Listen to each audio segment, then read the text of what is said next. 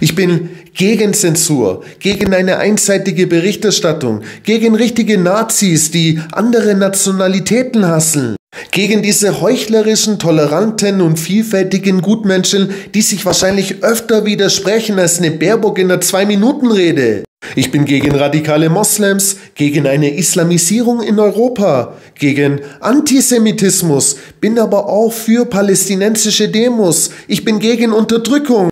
Ich bin gegen Klimakleber, ich bin für Umweltschutz, ich bin gegen diese Pharmagesundheit, ich bin für mehr Bewusstsein des eigenen Körpers, ich bin für die Demokratie, ich bin zum Beispiel aber gegen dieses Demokratieverständnis von denen da oben. Ich bin einfach ein friedlicher Mensch, der sein normales Leben zurück will, der keine Lust mehr hat auf diese Shitshow aktuell. Ich bin auch gegen Migranten, die Einzelfälle verüben. Ich weiß aber auch, dass die meisten Menschen in Deutschland mit Migrationshintergrund gute und friedliche Menschen sind, mit denen ich gerne ein Bier trinke, mit denen ich gerne einen Döner esse, mit denen ich gerne auch Spätzle mit Soße esse im Schwabeländle. Versteht ihr, was ich meine? Für mich gibt es aktuell nur Menschen und Arschlöcher. Und das Problem dabei, dass die Arschlöcher leider an Dominanz gewinnen, wird Zeit, dass wir sie wieder zurückerobern. Die Normalität. Denkt drüber nach und jetzt kommt hier vorbei für alternative News, denn die gibt es. Und ich bin gerne ein Freund davon, denen da oben den Spiegel vorzuhalten. Ich bin aber auch gerne ein Freund davon, von einem normalen Leben.